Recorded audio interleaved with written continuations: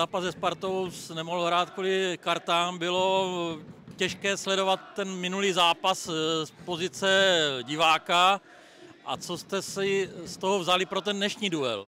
Tak eh, je pravda, že na té tribuně sledovat to není úplně optimální, takže,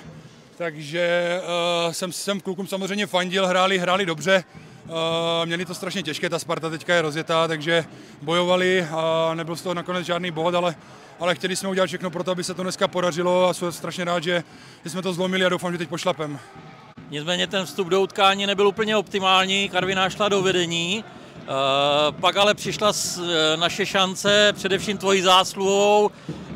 kdy v podstatě, myslím, Fleischmann tam ten balon asi vypustil a ty věřil, že to ještě stihneš, nebo měl jsi tu situaci úplně pod kontrolou? Uh, tak ten začátek, tam Karviná měla nějaké rohy, uh, nevím, jestli na to nejsme koncentrovaní a bohužel dostali jsme gól uh, ze standardky, kdy prostě hrajeme zónu a, a nepokryjeme prostě ten prostor, kde máme a, a možná jsem tam i já zaspal, Vechy tam taky nebyl, nevím, musíme se na to podívat. Každopádně se toho musíme vyvarovat do příště, ale věřil jsem, že, že máme kvalitu na to, aby jsme ten zápas otočili a, a co se týče té situace na jedna jedna, tak uh, já jsem se tady rozbíhal po léně, řval jsem na Hofiu, ať mi to tam dá a, a musím teda říct, že, že, ten, že ten balon byl jako perfektní a, a snažil jsem se to vrátit do hřiště a, a,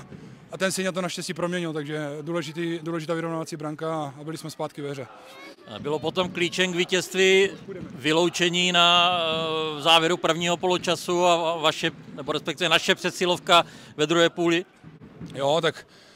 zase na druhou stranu víme, jak ty přesilovky my umíme kolikrát hrát, že, že to pro nás ještě někdy nevýhoda, ale, ale dneska jsme se na to koncentrovali, říkali jsme si v kabině, aby jsme zase nebyli za, za hlupáky, aby se to zase neopakovalo a, a myslím si, že ten výkon ve druhé půlce jsme si pohlídali až na nějaké